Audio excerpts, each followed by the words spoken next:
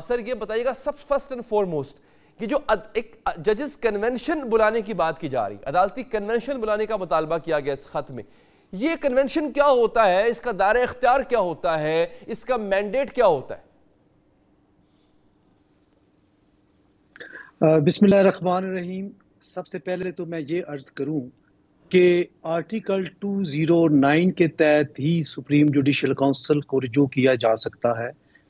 और आर्टिकल 209 में सिर्फ़ जजेस के मुतलक या उनके खिलाफ जो शिकायत है हम्म। उनकी इंक्वायरी की जाती है और उसकी रिपोर्ट फिर सदर ममलिकत को भेजी जाती है ये एक ऐसा आर्टिकल है जिसके तहत किसी भी जज के हो सकती है लेकिन जजेस अगर कंप्लेंट करते हैं तो आर्टिकल 209 इन्वोक नहीं किया जा सकता जी मैं अली हैदर साहब ये अर्ज़ कर रहा था कि article 209 of the constitution of Pakistan वो सिर्फ़ एक वाहिद आर्टिकल है हम्म। जो कि किसी भी अला अदलिया के जज के खिलाफ शिकायत को सुनता है और फिर अपनी राय अपनी तजवीज़ सदर मुझते हैं लेकिन आईने पाकिस्तान में कहीं भी किसी भी आर्टिकल में ये नहीं है कि अगर कि अगर किसी जज को या जजेस को किसी से शिकायत हो तो वो किस फोरम पे करें? हम्म। इसीलिए इस खत में छह मुआज जज साहबान ने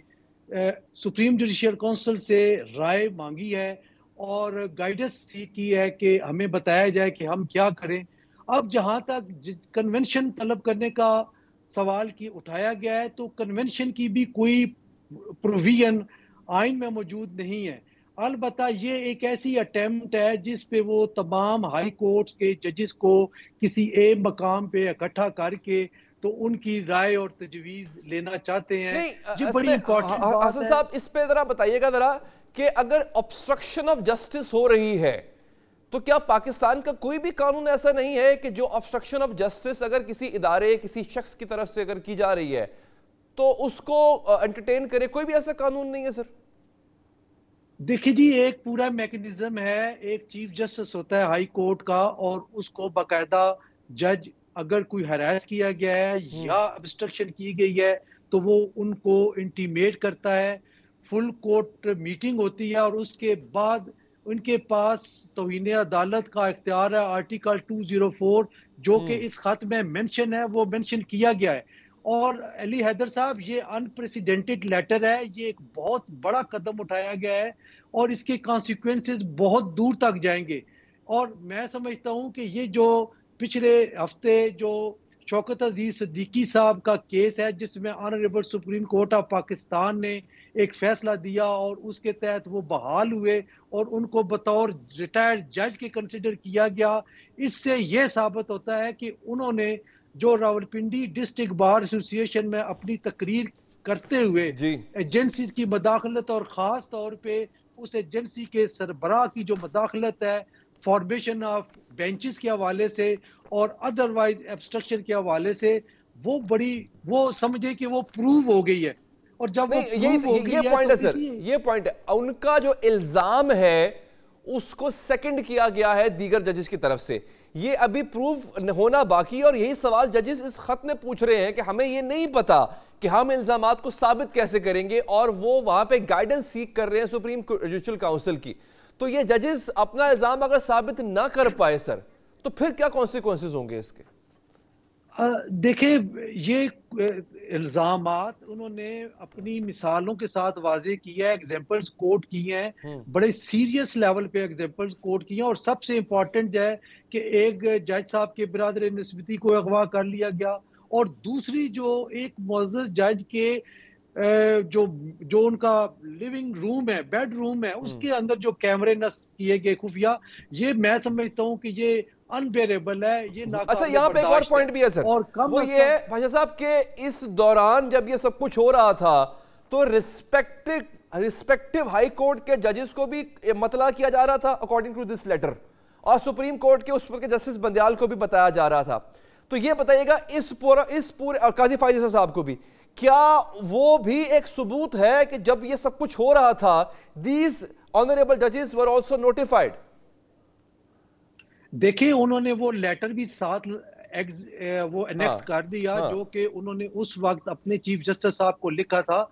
और ये मैं सम, मैं नहीं समझता कि ये जजेस ने कोई ओवर डूइंग की है या वो अपना वो अपना कोई खबरों में अपना नाम ला, लाना चाहते हैं। मेरा ख्याल है बड़ा सोच विचार करके बड़ी अहम बात वो सामने लेकर आए हैं। और अब ज़िम्मेदारी बनती है honourable chief justice of Pakistan पे कि वो इसको किस हम्म। तरह लेते हैं अच्छा और अब टेक्निकलिटीज की तरफ़ देखा जाए तो आर्टिकल 209 की ये जुडिक्शन सीख नहीं कर सकते नहीं लेकिन कर सकते। दूसरी तरफ़ जो इनकी शिकायत हैं वो अपनी जगह पे इतनी मज़बूत और इतनी सॉलिड है ये बड़ा बड़ी बड़ी अजीब सी बात है कि आर्टिकल कोई कानून ऐसा है ही नहीं कि अगर जज को किसी से शिकायत है जज हैरस हो रहा है तो वो कंप्लेन करे अच्छा ड्यूरिंग दैट पीरियड जब ये जस्टिस बंदयाल को या जस्टिस काजी फाइज ईसा साहब को नोटिफाई कर रहे थे बता रहे थे उनके इल्म में ला रहे थे तो उनके पास कोई इख्तियार था कि वो उसका नोटिस लेते जी बिल्कुल वो उस वक्त नोटिस ले सकते थे वो अच्छा। मुतलका एजेंसीज को तलब कर सकते थे अपनी कोर्ट में या इनको ये इंस्ट्रक्शंस दे देते थे वैसे ना भी देते तो ये अपने तौर पे आर्टिकल 204 की कार्रवाई यानी कंटेम्प्ट ऑफ़ कोर्ट की कार्रवाई उनके खिलाफ इनिशिएट कर सकते थे। और अगर कर देते नोट शो का नोटिस इशू कर देते लेकिन साथ ही इन्होंने ये लिखा कि हम जनाब काजी फाइजा साहब या जस्टिस शौकत अज़ीज़ सदीकी साहब जितने दलेर जजेस नहीं हैं लिहाजा हम ये कलेक्टिवली एक रिक्वेस्ट हम्म। या एक भेज रहे हैं सुप्रीम जुडिशियल काउंसिल को कि हमें गाइड करें। और सर अगर उस दौरान पाशा साहब अगर ऑनरेबल चीफ जस्टिस जो आज मौजूद हैं और उस वक्त के थे उन्होंने कोई एक्शन नहीं लिया तो वो वो कहाँ स्टैंड करते हैं फिर? मतलब मैं ये तो नहीं कहूँगा कि उनके खिलाफ की कार्रवाई होनी चाहिए but are they held accountable for this देखिए मैं बड़ा कैटेगरिकली ये कह रहा हूँ कि जहाँ तक तो जस्टिस काजी फाइसा साहब का तलक है उस वक्त वो सीनियर प्यूनी जाई थे और वो उनके पास सो मोटो लेने का कोई इख्तियार नहीं था क्योंकि एक वर्डिक्ट आ गया था सुप्रीम कोर्ट ऑफ़ पाकिस्तान का कि सिर्फ़ चीफ जस्टिस को ही इख्तियार है सो मोटो एक्शन लेने का तो लेकिन जब उमर बंदयाल साहब और जस्टिस इजाजुल हसन साहब दोनों मौजूद थे और उन तक ये बात पहुंचाएगी तो उनको यकीनन कोई कोई सॉलिड। जो कदम है वो उठाना चाहिए था इस हवाले से जो कि शायद इस खत से ये नज़र आता है कि उन्होंने कोई एक्शन नहीं लिया।